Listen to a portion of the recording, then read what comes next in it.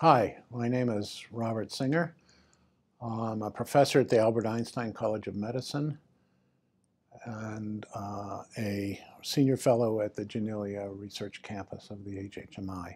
And I'm going to talk to you in this lecture specifically of methods that we developed to image both translation and degradation of mRNAs in living cells.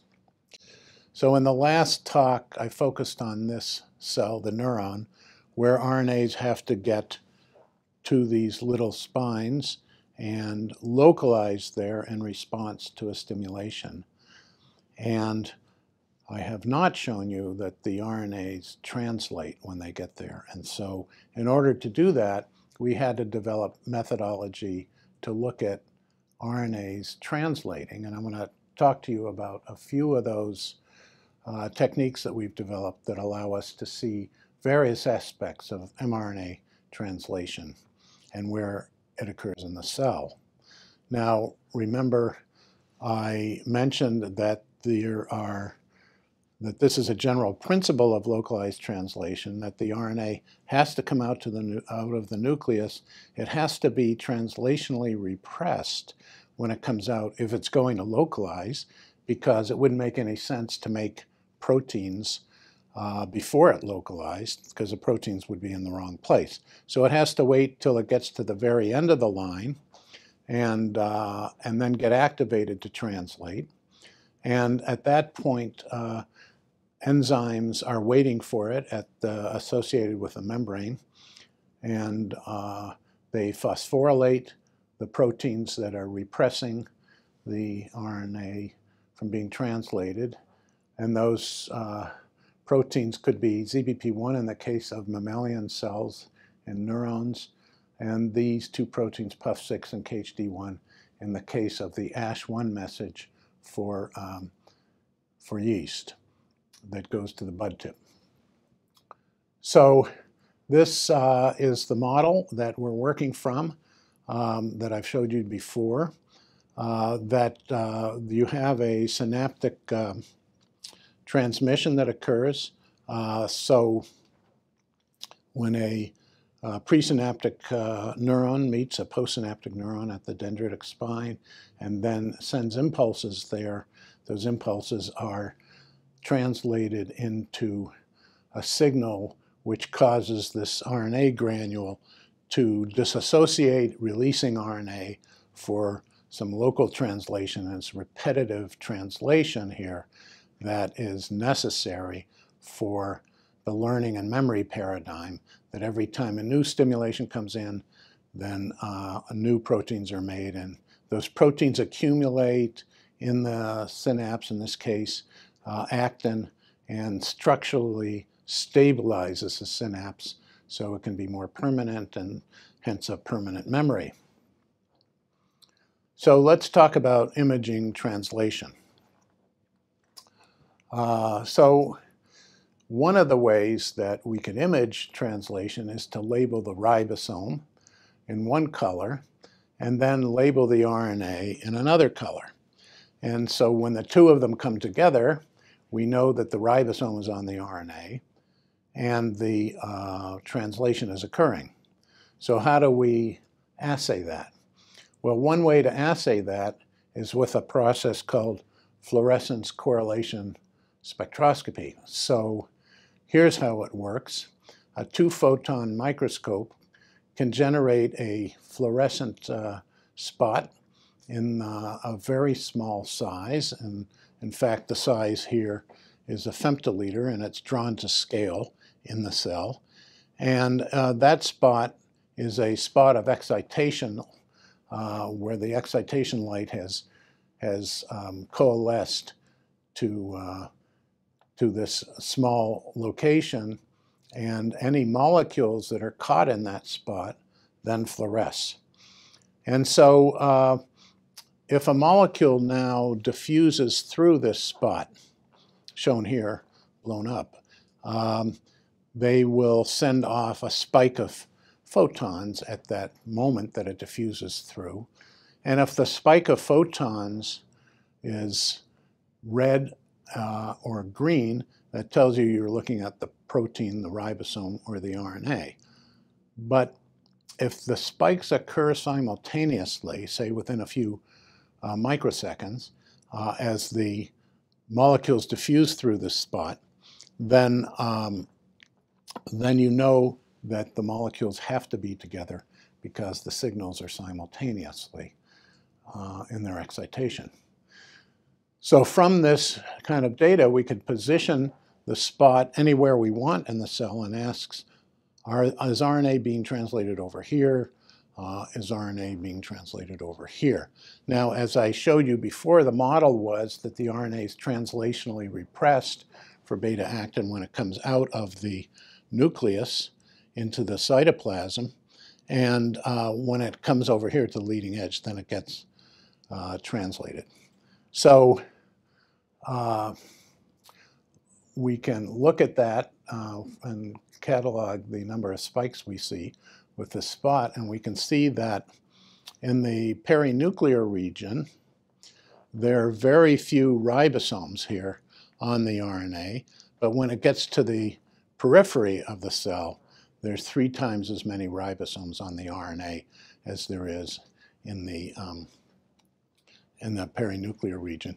And as I showed you, one of the proteins that represses RNA translation is uh, ZBP1. So if we look at this in a ZBP1 knockout, you see there's no difference between the perinuclear region and the peripheral region. The gradient is destroyed because the RNA now can translate anywhere in the cell.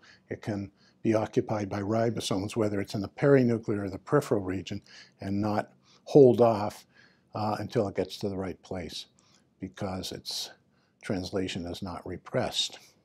So that's one way to look at uh, translation, um, looking at how the RNA is, is uh, regulated in different parts of the cell. And this kind of summarizes the results from that. Ribosomes loaded up in the periphery region making actin, or in the uh, areas near synaptic spines and neurons, uh, but not in the, per, in, the, uh, in the perinuclear region. Okay, but now um, we would like to see translation of single RNAs, and um, how do we do that? So as I mentioned to you before, we have these stem loop systems, uh, one MS2 and the other PP7, and they um, are orthogonal to each other.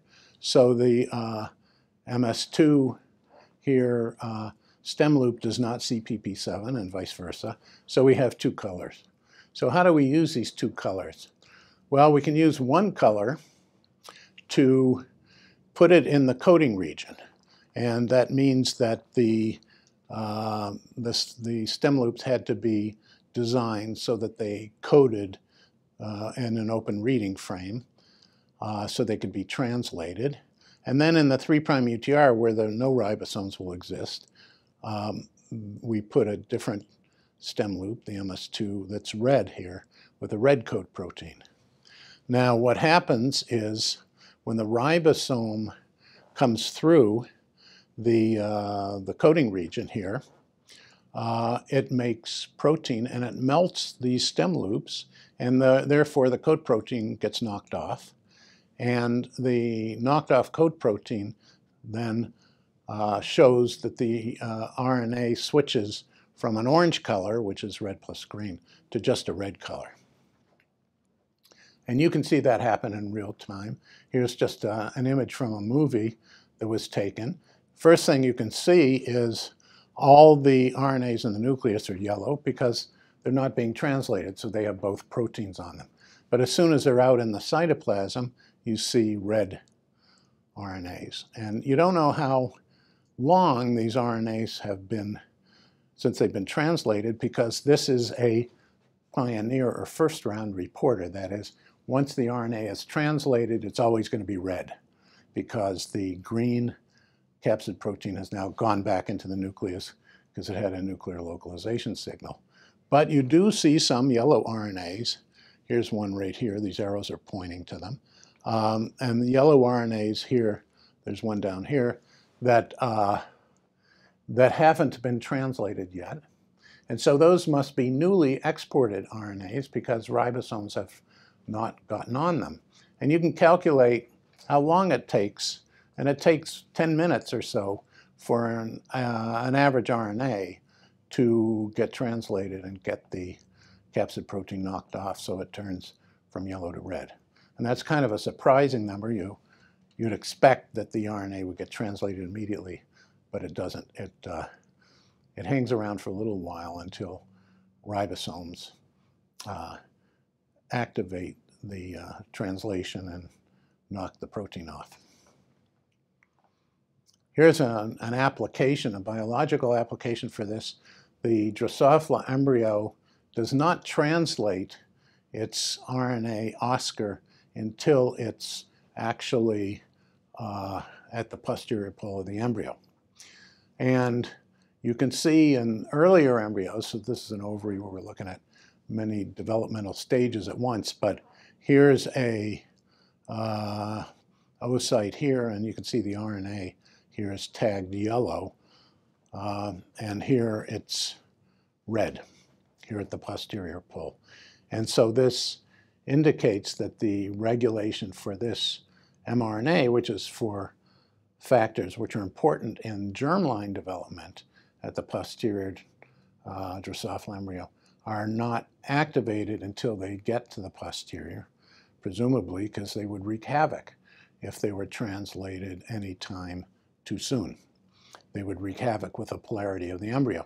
So this is an example of how this technology is used to actually identify the site of where translation occurs here in the, in the embryo. Okay, but these are examples of the first uh, round of translation. What about watching RNA over the long period of time being translated again and again and again? Is there a mechanism to do that? And the development that was done uh, for that uses this technique, this uh, protein that was uh, developed in uh, Ron Vale's lab that uh, is a single chain antibody that can see an epitope and it can be, the single chain antibody can be genetically expressed in the same cell that the epitope is expressed, so it will bind the epitopes. And what we did is we put, like we did with the uh, MS2 RNA, we put a lot of these epitopes on the front end of the protein, so when the protein first is translated, the uh, antibodies bind, and the nascent chain of the protein becomes very bright, and the RNA is labeled with a stem loops. So where the stem loop signal and the nascent chain signal coincide on a single molecule, that is a molecule that at that moment is being translated. And so uh, this is the construct. The, the epitopes are called SunTags. And in addition on this construct is a, a degron, an auxin-induced degron, where the protein, once it's finished being made, it degrades. So it doesn't form a lot of signal in the background when you're looking at RNA being translated. So let's take a look and see what you see when you use this. And one of the first things you see is that you can actually measure the velocity of ribosomes on the RNA. And here's how you do it. Here's the, uh, up here is this point source, which is being bleached um, so that all the fluorescent tags on it are now dark. And so any increase in signal is due to the fact that you're adding new epitopes uh, on, as a result of the synthesis of the protein. And this is the recovery uh, in, in minutes from after being bleached for that single RNA. Now we're looking at one molecule recovering its synthesis. So we can observe the translation of the of RNAs with increasing uh, open reading frame lengths and their recovery from photobleaching. And it turns out that although longer open reading frames take a longer time to get to saturation, the slope of their increase is always the same. It's always one parameter. And the slope tells you how many amino acids per second uh, are being added to each individual RNA. And they all show uh, approximately five amino acids per second in terms of velocity. And this happens to, to agree with the work done by John Weissman and Nick Ingolia, which uh, used a bulk analysis, ribosome footprinting, to measure protein synthesis rates and got the same number. So the individual RNAs do recapitulate what has been shown by bulk analysis. But one of the interesting aspects here is you can look at the neuron example, which I brought up before, and this is a fixed neuron. So the reds here are mRNAs that are in the neuron and uh, detected by the MS2, and the yellows are proteins. I mean, the greens are proteins that are detected by the SunTag antibodies, tag with GFP. But these yellow arrows here which are in various parts, are, are pointing to yellow spots, which are which represent RNAs which are in the act of being translating, uh, being translated. And so in this case, uh, you can see that almost uh, all the RNAs in the neuron are not being translated at this given moment when the neuron was fixed, uh, and only a small percentage are being translated at any one time. This is consistent with what we observed, that the RNAs get activated at particular sites that uh, receive synaptic stimulation. And then this culture, there are all sorts of synapses that occur uh, while the cells are maturing. So one can look in live neurons and see translation. One of the surprises is that that you could see that uh, in neurons, RNAs actually move around while they're being translated. And that's not consistent with what our hypothesis was. And we can only suggest that RNAs can uh, perhaps initiate uh, translation at a synapse, but then maybe move on and, uh, and cruise around while dragging their nascent chains with them. We don't know for sure whether that's the case. But one of the interesting observations here is like transcription, translation bursts. And here's an example of two RNAs, one red RNA, one green RNA, uh, that are colored, uh, pseudocolored just for you to distinguish them. But um, you can see the red RNA gives a burst of translation and then shuts down. And then a green RNA gives a burst of translation and shuts down. The red RNA comes back after a quiet period of several uh, tens of minutes. So, so the process of translation is bursty the way the process of transcription is. And that's because stochastically the problem is a ribosome finding an RNA or a polymerase finding a DNA is essentially the same logistical problem. They have to diffuse and then bind, and you don't know when that diffusion and binding is going to occur. But when they do bind and they assemble initiation factors for translation here, um, several ribosomes can get on in a relatively short period, and then they all fall off, uh, waiting for the next round of initiation. So here's an analysis of the dynamics uh, of many RNAs, showing another uh, RNA here which is bursting in its translation. Um, and we can see that the translation bursts are usually in the order of 30 minutes. So for a average burst, each mRNA makes 20 or 30 proteins. And that 30 minutes happens to agree with what we saw with a granule disintegration that I told you in the previous lecture, that the granules uh, disintegrate and they uh, make the RNA available because the uh, the stimulation causes this process to occur. And the burst is probably caused by a granule dissociating and then uh, RNA being translated and then going back to its quiescent state.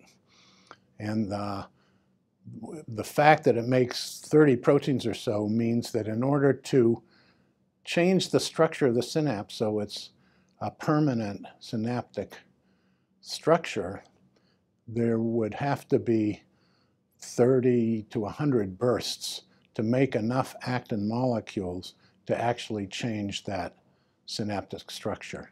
And that is that repetition is what we think leads to what's known as potentiation or uh, in other uh, words, the fixation of a memory uh, contact. Now what about the RNA degrading? Well, we had now these RNAs have to degrade at some point, but where they have to really be sure that they get out of the way is during the cell cycle. Because RNAs which are made during the cell cycle for particular portions of the cell cycle have to uh, then get degraded so they don't make proteins and inhibit the progress of the cell cycle.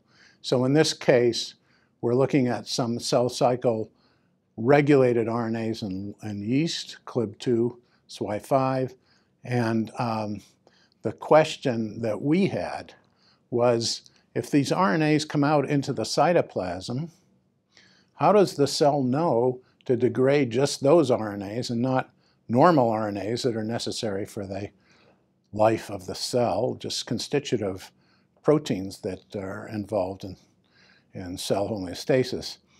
Does it have to search through every single RNA and vet every single RNA? In which case, this would be a horrible thermodynamic problem for the cell to solve. And the way the cell solves it, and this graduate student, Tatiana, uh, solved this problem by showing that the degradation enzymes actually assemble with the promoter. Uh, and when the RNA is, is synthesized, these enzymes are carried on the RNA out into the cytoplasm, and they sit there on the RNA ready to chew it up at a moment's notice. And so when a, when a cell cycle signal, such as a phosphorylation, goes through the cytoplasm, these degradation enzymes are activated and the RNA that they're on gets immediately chewed up.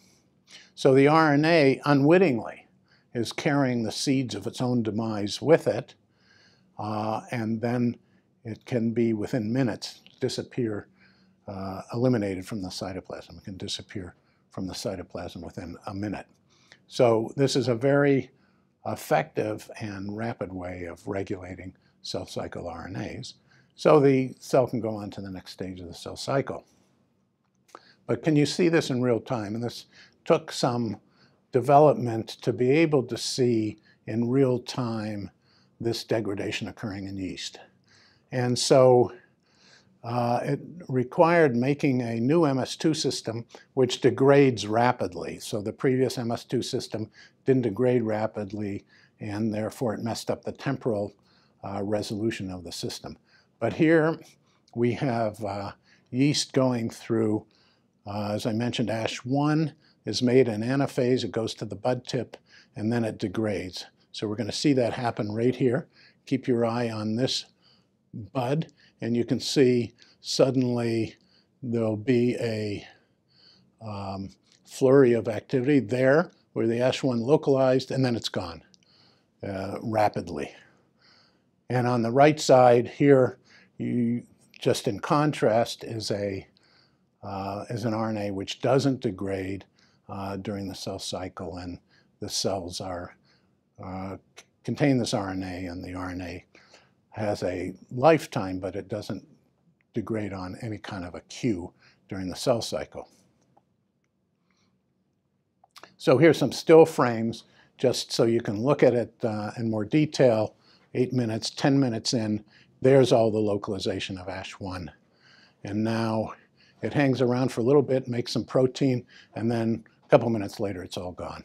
So this is uh, an example of how rapidly the cell can control and how precisely it can control the uh, regulation of uh, RNA lifetime when it wants to, when it wants to get rid of the RNA, when it wants to express proteins in a spike of the cell cycle and then get rid of those proteins in the RNA rapidly.